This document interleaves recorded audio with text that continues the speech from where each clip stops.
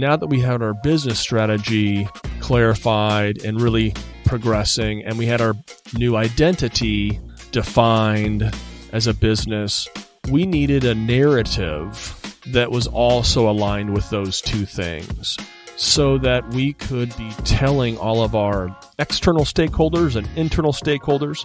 all of our partners, all of our customers, everyone in our business environment, the same story.